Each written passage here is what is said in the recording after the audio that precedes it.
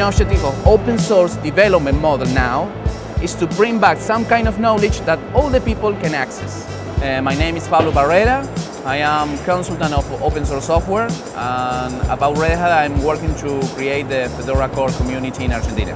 Meu nome é Rodrigo Padula, eu sou membro do projeto Fedora Brasil, sou embaixador, represento o projeto aqui no Brasil e sou membro do FANSCO, e ajudo na, é, colaboro com a organização do Fedora na América Latina. Meu nome é Gutenberg Medeiros e eu sou administrador de redes em universidade, sou professor de software livre. Meu nome é Diego Burigo Zacarão, eu sou de Santa Catarina tá? e eu faço parte do projeto de tradução de interface do Fedora.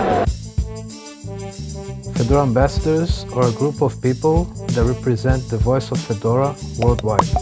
They're not talking strictly on open source, they're talking about a distribution, a distribution they love and that, that you know should be better promoted in different countries. And the guy who actually deals with translation nowadays uh, is this guy Igor over there. Do you want to come over and talk a bit? Sure. By now I'm translating the Fedora for Brazilian Portuguese. So uh, I think if we want to see Fedora on companies, on schools, uh, on public departments, we need to have good translations. Uh, not formal translations, but translations that people can understand.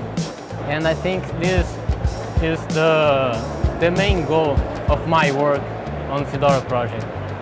I know we do have about 10 Fedora ambassadors in Brazil, spread out in different states. There's one from Rio, I'm from São Paulo, there's another one from Bahia, another one from Paraíba state, from northeast, um, another guy from the south, from Santa Catarina nearby.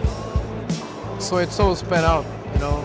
If the guys are passionate and, and are willing to make it happen, um, you know, just join us and see if we can do something together. A minha participação no, no projeto Fedora foi porque foi um dos únicos projetos que eu consegui assim, contribuir mais ativamente, poder fazer alguma coisa que realmente fosse utilizada e difundida aqui no Brasil e também podendo contribuir com o um projeto internacional. E eu, o que eu mais curto no projeto é a ideia do software livre. A ideologia do software livre é uma coisa que me atraiu. A questão de compartilhamento do conhecimento, de difusão de tecnologia e você poder transformar esse conhecimento livremente. O conhecimento não ser só vendido, ser compartilhado livremente. Quando eu falo sobre Fedora, eu gosto de falar de duas coisas.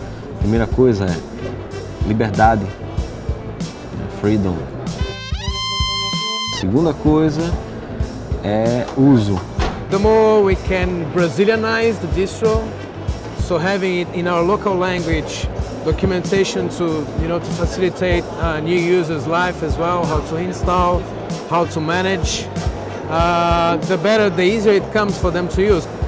And our objective is to work to people that doesn't know anything about open source, specifically on Linux, and show them that there's another kind of choice, another possibility to work.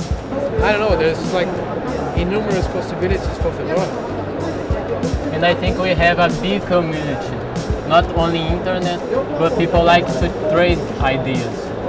And this trade makes the free software bigger and bigger in Brazil.